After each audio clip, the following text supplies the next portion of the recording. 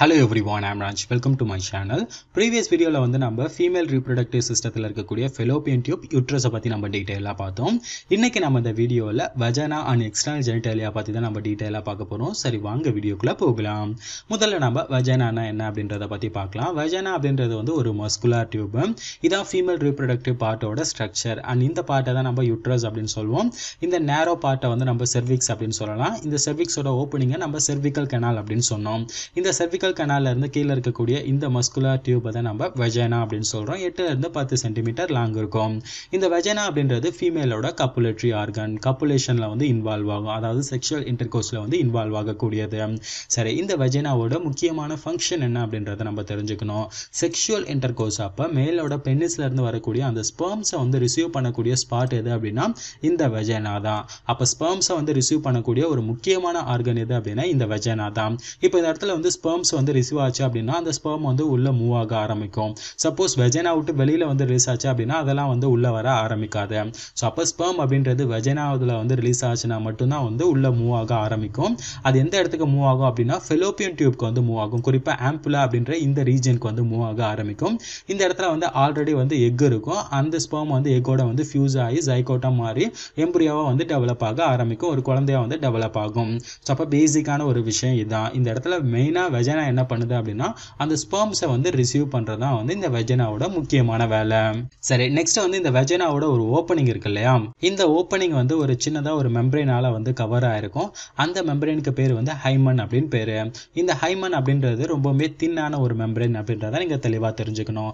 நிறைய பேர் வந்து என்ன நினைப்பாங்க அப்படின்னா இந்த ஹைமன் அப்படின்ற லேயர் வந்து ஒன்லி வேர்ஜன் கேர்ல மட்டும்தான் இருக்கும் அப்படின்ற மாதிரி நினச்சிட்டு இருப்பாங்க. ஆனால் உண்மையான விஷயம் என்ன அப்படின்னு கேட்டிங்கன்னா வேர்ஜன் கேர்ல வந்து இந்த ஹைமன் அப்படின்ற லேயர் வந்து இல்லாமல் கூட இருக்கலாம். அதுக்கான ரீசன் என்ன அப்படின்னா இது வந்து ரொம்பவுமே தின்னான ஒரு லேயர் ரொம்பவுமே தின்னான ஒரு லேயர் அப்படின்றதால ஒரு கேர்ள் வந்து அவங்களுடைய பாடிக்கு ரொம்ப அதிகமாக வந்து ஒர்க் அவுட் கொடுத்தாலும் அப்படி இல்லைன்னா தெரியாதனமாக ஏதாவது கீழே விழுந்துட்டாலும் இந்த லேயர் வந்து கிழிந்து வெளியே வரதுக்கான வாய்ப்புகள் இருக்கு. ஸோ அதனால நீங்கள் எல்லாரும் மாதிரி நம்பாதீங்க. நீ நீங்கள் வந்து ஒரு சயின்ஸ் ஸ்டூடெண்ட்டு அதனால நீங்கள் தெரிஞ்சிக்க வேண்டிய விஷயம் என்ன அப்படின்னா இந்த ஹைமன் அப்படின்றது ரொம்பவுமே தின்னான ஒரு மெம்பரேன் அது ஏதாவது ஒரு பாடியில் வந்து ரொம்ப அதிகமாக ஒர்க் அவுட் கொடுத்தாலே இந்த லேயர் வந்து கிழிந்து வெளியே வரதுக்கான வாய்ப்புகள் இருக்கு. சரி நெக்ஸ்ட்டு வந்து இந்த வெஜனாவை பார்த்தோம் அப்படின்னா இந்த வெஜனாக்குள்ளே வந்து எப்போவுமே அசிட்டிக் கண்டிஷன் தான் இருக்கும். பிஹெச் எந்த அளவுக்கு இருக்கும் அப்படின்னா ஃபோர் பாயிண்ட் நைன்லேருந்து த்ரீ பாயிண்ட் ஃபைவ் இந்த அளவுக்கு தான் வந்து பிஹெச் இருக்கும். ஏன் இந்த அளவுக்கு வெஜனா வந்து அசிட்டிக் கண்டிஷனில் இருக்குது அப்படின்னா இந்த வெஜனா வந்து ரொம்ப சீக்கிரமாக வந்து இன்ஃபெக்ஷன் ஆகிறதுக்கான வாய்ப்புகள் இருக்குது ஏன்னா வெஜனாவோட ஓப்பனிங்க்கு மேலே வந்து யூரித்ரல் ஓப்பனிங் இருக்கும். அதுக்கு கீழே வந்து பார்த்தீங்கன்னா ஆனஸ் ஓப்பனிங் இருக்கும். ஸோ இதனால் இன்ஃபெக்ஷன் ஏதாவது ரொம்ப சீக்கிரமாகவே வந்து வெஜனாவுக்கு வரதுக்கான வாய்ப்புகள் இருக்குது ஸோ அந்த மாதிரி எந்த ஒரு ஃபாரின் பார்ட்டிகள் ஆகட்டும் இந்த மாதிரி எந்த ஒரு இன்ஃபெக்ஷனும் வரக்கூடாது அப்படின்றதுக்காக தான் பொதுவாக வெஜனா அப்படின்றது வந்து அசிட்டிக் கண்டிஷனில் இருக்குது அப்படின்றத நீங்கள் தெளிவாக புரிஞ்சுக்கணும். சரி எப்படி வெஜனா வந்து அசிட்டிக் கண்டிஷனை வந்து மெயின்டைன் பண்ணுது அப்படின்னா அதுக்கு காரணம் வந்து ஒரு குட் பாக்டீரியா என்ன பாக்டீரியா அப்படின்னா லாக்டோஃபேசிலஸ் அசிட்டோஃபில்லஸ் இந்த பாக்டீரியா தான் வந்து காரணம். இது வந்து பார்த்தீங்கன்னா ஹியூமனில் இருக்கக்கூடிய ஒரு நார்மலான ஒரு குட் பாக்டீரியா நம்மளுடைய மவுத்தில் இருக்கலாம் நம்மளுடைய ஸ்டொமக்கில் இருக்கலாம். வெஜனா இருந்தது அப்படின்னா கண்டிப்பாக வெஜனாவிலே இந்த பாக்டீரியா இருக்கும். இந்த பாக்டீரியா வந்து என்ன பண்ணும் அப்படின்னு கேட்டிங்கன்னா லாக்டிக் ஆசிட் இருக்கு இல்லையா? அந்த லாக்டிக் ஆசிட் அதிகமாக வந்து சிந்தசிஸ் பண்ணும். இந்த வெஜனால வந்து லாக்டிக் ஆசிட் வந்து சிந்தசிஸ் பண்ணுறதால தான் அந்த இடத்துல வந்து அசிட்டிக் கண்டிஷன் வந்து மெயின்டைன் ஆகுது. ஸோ அதனால் எந்த ஒரு ஃபாரின் பார்ட்டிகளும் எந்த ஒரு பாக்டீரியாவும் வந்து உள்ளே வந்து நுழைந்து அந்த அளவுக்கு ஈஸியாக வந்து போயிட முடியாது. இந்த அசிட்டிக் மீடியம் வந்து அது எல்லாத்தையுமே வந்து கில் பண்ணிடும். சரி இந்த இடத்துல பேசிக்காக வந்து உங்களுக்கு ஒரு கொஸ்டின் எழலாம். என்ன அப்படின்னா மேலோட அந்த ஸ்பெர்ம் அப்படின்றது வந்து பார்த்தீங்கன்னா வெஜனால தான் வந்து ரிலீஸ் ஆகுது. ஸோ அப்போ அந்த இடத்துல அசிட்டிக் கண்டிஷன் இருக்குது எப்படி ஸ்பெர்ம்ஸ் மட்டும் அந்த அசிட்டிக் கண்டிஷனை வந்து தாங்கிட்டு உள்ளே போகுது அப்படின்ற ஒரு டவுட் உங்களுக்கு வரலாம். இதில் நீங்கள் தெரிஞ்சுக்க வேண்டிய ஒரு விஷயம் என்ன அப்படின்னு கேட்டிங்கன்னா அந்த ஸ்பேம்ஸ் வந்து உருவாகுது இல்லையா? பொதுவாக வந்து இந்த இடத்துல வந்து ரிலீஸ் ஆகக்கூடியதை வந்து ஸ்பெர்ம்ஸ் மட்டும் வந்து ரிலீஸ் ஆகாது. அதை வந்து நம்ம சீமன் அப்படின்னு சொல்லுவோம். சீமன் அப்படின்றது ஸ்பேம் ப்ளஸ் வந்து பார்த்தீங்கன்னா அந்த மேலோட ரீப்ரொடக்டிவ் கிளான்ஸ் வந்து செக்ரேட் பண்ணுது இல்லையா? அந்த செமினல் பிளாஸ்மா இது எல்லாத்தையும் சேர்த்து தான் நம்ம சீமன் அப்படின்னு சொல்கிறோம் இந்த செமினல் பிளாஸ்மா அப்படின்றது பொதுவாக வந்து அல்கலைன் கண்டிஷனில் இருக்கும். ஸோ அது அல்கலைன் கண்டிஷனில் இருக்கு. அண்ட் இந்த இடத்துல அசிட்டிக் கண்டிஷன் இருக்கு. ஸோ ரெண்டுமே வந்து சேரும்போது ஒரு கரெக்டான மீடியம் இருக்கும். ஸ்பேம்ஸ் வந்து உயிரோடு இருக்கிறதுக்கான ஒரு கரெக்டான மீடியம் இருக்கும். தென் அதுக்கப்புறம் ஸ்பேம் வந்து உள்ளே வந்து நீந்தி போக ஆரம்பிக்கும். ஸோ இதான் வந்து வெஜனா பார்த்தினா பேசிக்கான ஒரு இன்ஃபர்மேஷன் சரி நெக்ஸ்ட்டு வந்து நம்ம எக்ஸ்டர்னல் ஜெனிட்டாலியா பற்றி நம்ம டீட்டெயிலாக பார்க்கலாம். எக்ஸ்டர்னல் ஜெனிட்டாலியா வந்து நம்ம ஃபீமேலில் என்ன சொல்லுவோம் அப்படின்னா வல்வா அப்படின்னு சொல்லலாம். மேலோட எக்ஸ்டர்னல் ஜெனிட்டாலியா வந்து நம்ம பெனிஸ் அப்படின்னு சொல்லுவோம். அதே மாதிரி தான் ஃபீமேலோட எக்ஸ்டர்னல் ஜெனிட்டாலியா என்ன அப்படின்னு கேட்டிங்கன்னா ரொம்ப சிம்பிளாக வந்து நம்ம வல்வா அப்படின்னு சொல்லலாம். நிறைய பேர் வந்து வஜனா அப்படின்னு சொல்லுவாங்க. அது தப்பான ஒரு விஷயம். வல்வா அப்படின்றது தான் கரெக்டான ஒரு ஆன்சர் சார் இந்த வல்வாவில் என்னென்னலாம் இருக்குது அப்படின்றத நம்ம பார்க்கலாம். மான்ஸ் பியூப்பஸ் அதே மாதிரி clitoris labia majora labia minora Bartholin gland Skene gland இந்த மாதிரியான ஒரு சில கிளாண்ட்ஸ் இருக்கும். இதை ஒவ்வொன்றத்தை பற்றி நம்ம இப்போ டீட்டெயிலாக பார்க்கலாம். முதல்ல வந்து மான்ஸ் பியூபர்ஸ் இந்த மான்ஸ் பியூபர்ஸ் அப்படின்றது வந்து பார்த்தீங்கன்னா இந்த மேலே இருக்கு இல்லையா இந்த குஷன் லைக் ஸ்ட்ரக்சர் இந்த இடத்துல ரொம்ப அதிகமாக வந்து ஃபேட்டி திசுக்கள் வந்து ப்ரெசென்ட் இருக்கும். பொதுவாக இந்த பார்ட்டை வந்து பார்த்தீங்கன்னா அந்த ஃபீமேலில் பார்க்கும்போது கொஞ்சம் வந்து மேடாக இருக்க மாதிரி இருக்கும். அதுக்கான ரீசன் என்ன அப்படின்னா அந்த இடத்துல வந்து ரொம்ப அதிகமாக வந்து ஃபேட்டியான திசுக்கள் வந்து ப்ரெசென்ட்டாக இருக்கும். அதை கவர் பண்ணி ஸ்கின்ஸ் இருக்கும். அதே மாதிரி பப்ளிக் ஏர்ஸ் வந்து ப்ரெசென்ட்டாக இருக்கும். ஸோ அப்போ இந்த ரீஜனை தான் வந்து நம்ம மான்ஸ் பியூபர்ஸ் அப்படின்னு சொல்கிறோம் தென் அதுக்கப்புறம் வந்து பார்த்தீங்கன்னா two pairs of lip like ஸ்ட்ரக்சர்ஸை வந்து நம்ம பார்க்க முடியும். அது என்னென்ன அப்படின்றத சொல்கிறோம் ஒன்று வந்து லேபியா மேஜோரா லேபியா மேஜோரா அப்படின்றத வந்து நம்ம பேரிதழ் அப்படின்னு சொல்லுவோம் தமிழில். ஸோ இந்த ரீஜன் இருக்கு இல்லையா? இதை தான் வந்து நம்ம லேபியா மேஜோரா அப்படின்னு சொல்கிறோம் பேரிதழ் ஓகேங்களா? இது வந்து ரொம்பவுமே ஃப்ளஷியான ஒரு ஃபோல்டு இது என்ன பண்ணுது அப்படின்னு கேட்டிங்கன்னா உள்ளே இருக்கக்கூடிய மற்ற எக்ஸ்டர்னல் ஜெனிட்டேலியா வந்து பாதுகாக்கிறது இந்த லேபியா மெஜோரா தான். தென் அதுக்கடுத்து உள்ளே இருக்கக்கூடிய இந்த ஃப்ளஷி ஃபோல்டை வந்து நம்ம என்ன சொல்லுவோம் அப்படின்னா லேபியா மைனோரா அப்படின்னு சொல்லுவோம். இந்த லேபியா மைனோரா என்ன பண்ணுது அப்படின்னா யூரித்ரல் ஓப்பனிங் வஜனல் ஓப்பனிங் இது எல்லாத்தையுமே வந்து ப்ரொடக்ட் பண்ணுறது தான் இந்த லேபியா மைனோரோட முக்கியமான வேலை. அண்ட் நெக்ஸ்ட் இந்த லேபியா மைனோரா பார்த்தீங்க அப்படின்னா மேலே வந்து ஒன்றா வந்து சேருது. இந்த மீட்டிங் பாயிண்ட்டை வந்து நம்ம என்ன சொல்லுவோம் அப்படின்னா இந்த இடத்துல பார்த்தீங்கன்னா தெரியும். இந்த பக்கம் இருக்கக்கூடிய இந்த ஃப்ளஷி ஃபோல்டும் இந்த பக்கம் இருக்கக்கூடிய இந்த ஃபோல்டும் ஒன்றா சேருது. இந்த மீட்டிங் பாயிண்ட்டை வந்து நம்ம கிளைட்டோரிஸ் அப்படின்னு சொல்லுவோம். இந்த கிளைட்டோரிஸ் அப்படின்றது ரொம்பவுமே வந்து சென்சிட்டிவான ஒரு பார்ட் அப்படின்றத நீங்கள் தெளிவாக தெரிஞ்சுக்கணும். ஸோ இதான் வந்து எக்ஸ்டர்னல் ஜெனிட்டேலியா எல்லாமே உங்களுக்கு தெரிஞ்சிருக்கும். அண்ட் நெக்ஸ்ட் இதில் இருக்கக்கூடிய இன்னும் ஒரு சில ஓப்பனிங்ஸ் என்னென்ன அப்படின்றத நம்ம பார்க்கலாம்.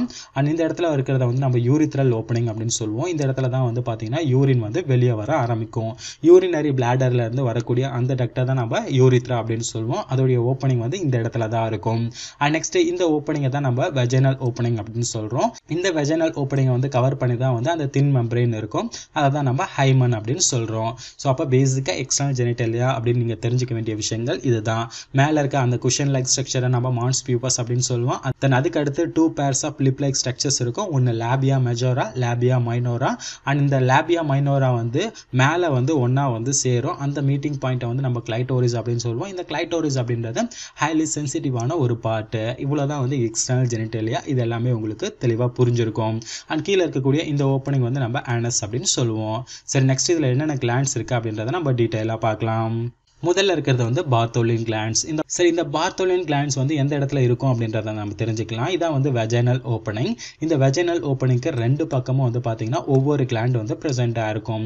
அப்போ பார்த்தோலின் கிளாண்ட் அப்படின்றது வந்து ஒரு பேர் ஆஃப் கிளாண்ட் அப்படின்றத நீங்கள் தெளிவாக புரிஞ்சுக்கணும். இந்த பார்த்தோலின் கிளாண்டோட முக்கியமான ஃபங்க்ஷன் என்ன அப்படின்னு கேட்டிங்கன்னா லூப்ரிகேட்டிங் ஃப்ளூயிட்டை வந்து செக்ரேட் பண்ணுறது தான் இதோடைய முக்கியமான வேலை. செக்ஷுவல் இன்டர்கோர்ஸ் அப்போ வந்து பார்த்தீங்கன்னா ஒன்லி மேலோட ரீப்ரொடக்டிவ் பார்ட்டில் மட்டும்தான் வந்து அந்த லூப்ரிகேட்டிங் ஃப்ளூயிட்ஸ்லாம் uh, வந்து செக்ரேட் ஆகும் அப்படின்னு கிடையாது. ஃபீமேலோட ரீப்ரொடக்டிவ் பார்ட்லேயும் வந்து லூப்ரிகேட்டிங் ஃப்ளூயிட்ஸ்லாம் வந்து செக்ரேட் ஆகும். குறிப்பாக இந்த பார்த்தோலின் கிளாண்ட்ஸ் தான் வந்து அதை செக்ரேட் பண்ணும். தென் அதுக்கடுத்து வந்து பார்த்தீங்கன்னா இன்னொரு கிளாண்ட் இருக்குது அது நம்ம ஸ்கீன் கிளாண்ட் அப்படின்னு சொல்லுவோம். இது ஏன் நம்ம ஸ்கீன் கிளாண்ட் அப்படின்னு சொல்கிறோம்னா அலெக்சாண்டர் ஸ்கீன் அப்படின்ற ஒரு இதை வந்து கண்டுபிடிச்சிருப்பாரு. அதனால தான் வந்து நம்ம இதை ஸ்கீன் கிளாண்ட் அப்படின்னு சொல்கிறோம் இந்த கிளாண்ட் எந்த இடத்துல இருக்கும் அப்படின்னு கேட்டிங்கன்னா இந்த யூரித்ரல் ஓப்பனிங் இருக்கு இல்லையா? இந்த யூரித்ரல் ஓப்பனிங்க்கு ரெண்டு பக்கமும் வந்து பார்த்தீங்கன்னா இந்த ஒவ்வொரு கிளாண்ட் வந்து ப்ரெசென்ட் ஆகிருக்கும் இது வந்து ஒரு பேர் ஆஃப் கிளாண்ட் தான். சரி இதோட ஃபங்க்ஷன் என்ன அப்படின்னு கேட்டிங்கன்னா இதோட ஃபங்க்ஷன் இன்னும் தெளிவாக தெரியல. பட் நிறைய சயின்டிஸ்ட் வந்து என்ன நினைக்கிறாங்க அப்படின்னா இது வந்து லூப்ரிகேட்டிங் ஃப்ளூயிடை வந்து செக்ரேட் பண்ணும் அப்படின்ற மாதிரி நினைக்கிறாங்க.